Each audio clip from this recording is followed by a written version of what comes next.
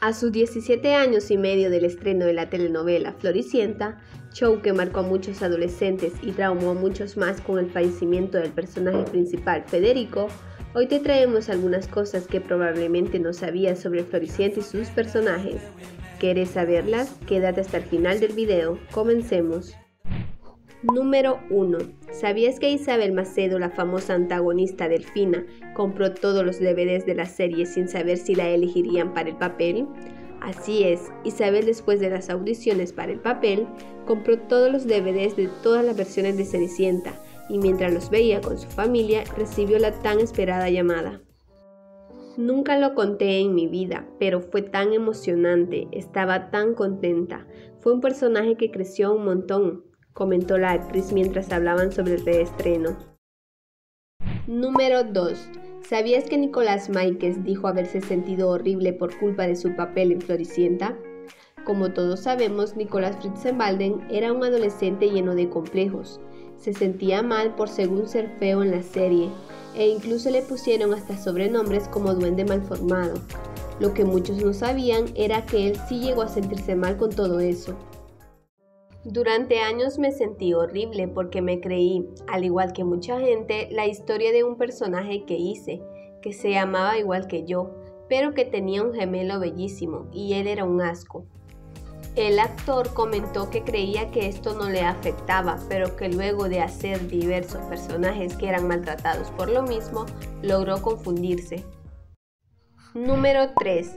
¿Sabías que el actor que hizo de Rosenbaum, psicólogo de la familia, en la primera temporada aparece en la segunda? Sí, aparece como el cirujano plástico que rejuvenece a Malala y a Bonilla. Probablemente no lo sabías, pero es el mismo actor. Número 4. ¿Te acordás de la actriz que interpretó a Doña Pancha, la dueña de la pensión donde vivía Flor en el comienzo de la historia? Sí, ella también interpretó en la segunda temporada a La Moncha, la ladrona que secuestra a los niños y que comparte celda con las brujas. Muchos la vimos y no nos dimos ni cuenta que era ella. Contame acá en los comentarios si ya lo sabías.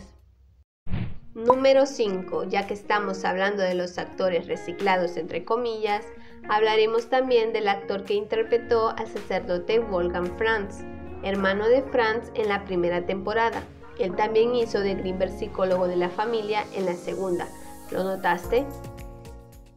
Número 6.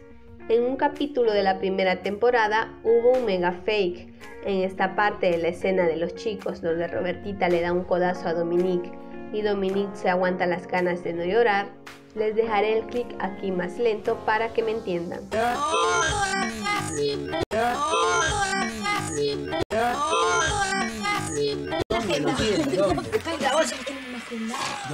Bueno, donde dice médico, no sé, lo tendrá en la M. La bolsa, la bolsa.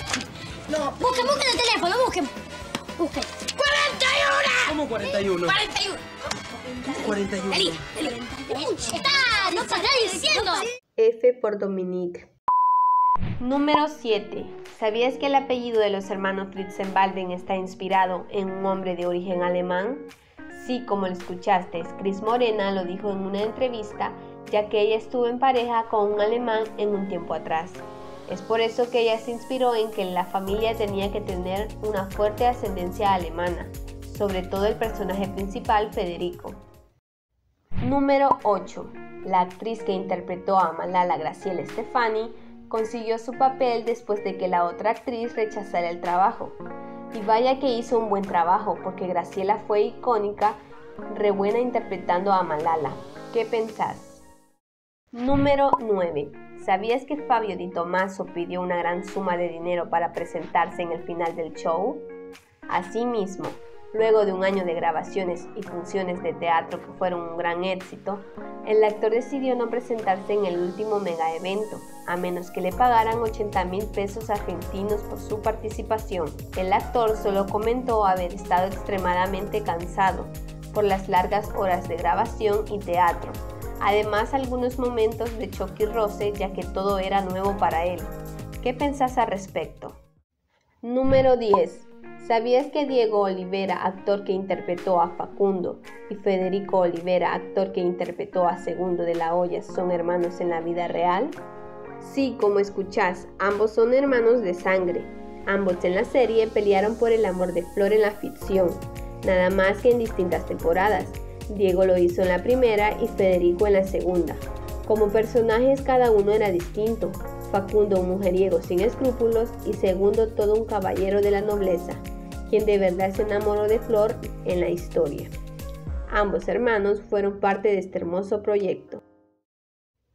Número 11. Mercedes Funes, intérprete de Miranda, y Federico Olivera, intérprete de Segundo, ya habían trabajado junto a Fabio Di Tomaso en Padre Coraje en 2004.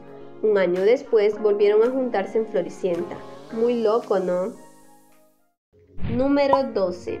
Azares de la vida o destino no se sabe, pero en el capítulo 172 de la segunda temporada, a uno de los trillis lo nombran Federico, en el mismo número de episodios 172 pero de la primera temporada, el final de este, Fede perdía la vida salvando a Max.